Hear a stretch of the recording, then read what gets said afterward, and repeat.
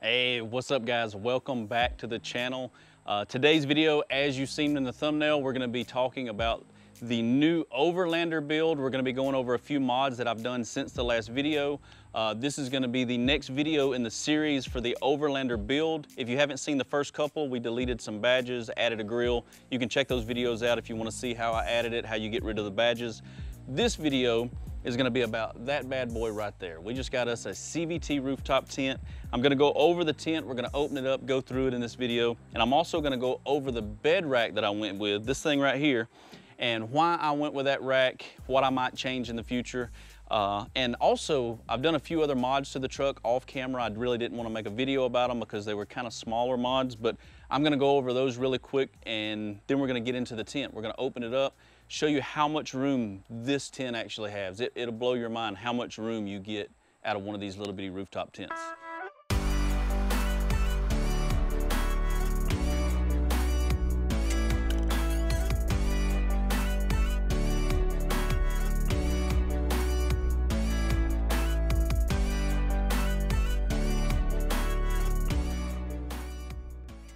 All right, so since the last video, uh, when we deleted the badges and added the TRD off-road badges up here, I have added a couple of other small mods. Uh, I'll take you guys off the tripod and show you.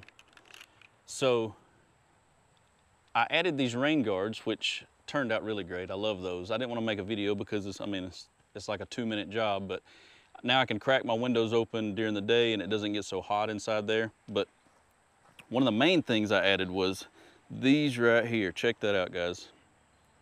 I got rid of the chrome bumper and I found these on Amazon actually. They're paint to match Tacoma end caps for your bumper. So, you know, I want to slowly get rid of all the chrome on this truck.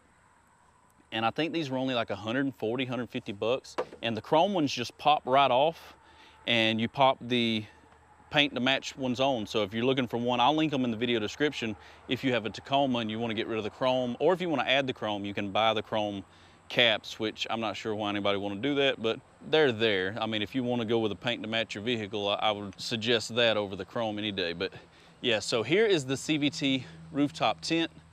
Uh, here are the bed racks. So the bed rack system I went with, this is the KB, is it KB Voodoo? I think it's KB Voodoo. Uh, and this rack I kind of like because you see how it, it kind of comes over the rail and then up off the side?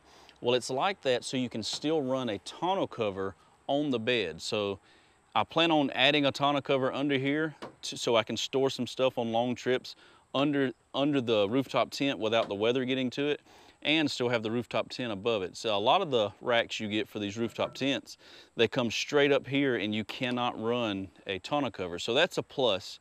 Uh, one of the downsides of this rack that uh, is probably gonna just take me getting used to it is I don't like not being able to see out of my back window because when I look in the rearview mirror, all I can see is, which I don't know if y'all can see it, but all you can see is the tent behind me. So I can't really see traffic behind me as something I got to get used to. Or later on, I might go with a taller, like the CBI rack I really like, and it comes up to about right here. So at least then I think I might be able to see out from up under it. Plus, we're going to be adding the Prinsu roof rack to the cab very soon, so y'all look for that video. But I'm gonna put you guys on the tripod and we're gonna open up this tent. I'm gonna show you how quickly this thing sets up and then we're gonna get inside of it and I'll show you how much room this thing has.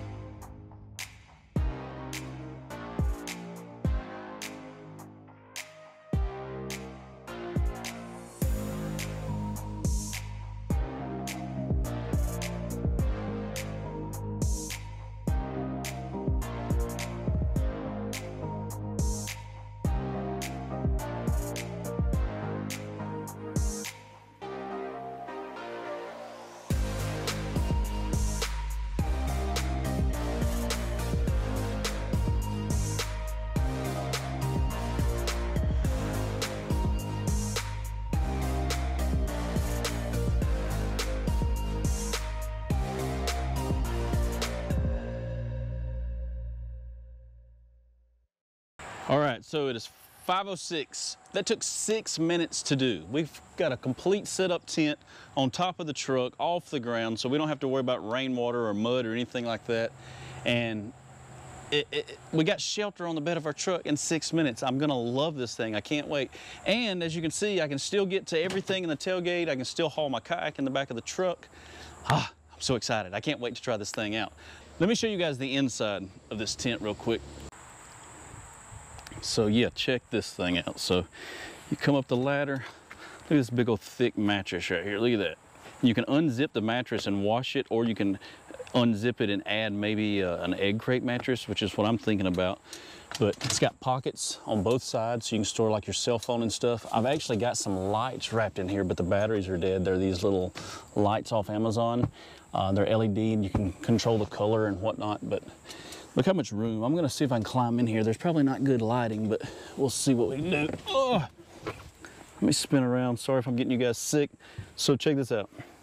If I'm gonna sleep in here, I'd be probably right back in here.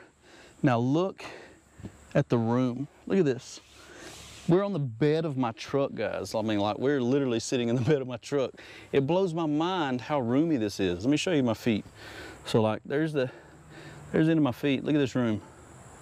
Is inside the tent, the bed of my truck. I'm just blown away. All right, guys, so that is my CVT rooftop tent. I hope you enjoyed this video. If you liked it, make sure you hit that thumbs up button for me. Uh, if you're new, hit that subscribe button, check out my other videos, and I'll catch you guys on the next one. Peace.